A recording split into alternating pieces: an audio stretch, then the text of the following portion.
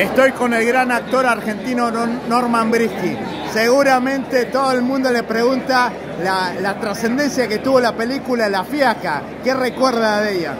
Bueno, que, fue una película importante de nuestra industria cinematográfica y que estamos pensando con Talesnik hacer la segunda parte.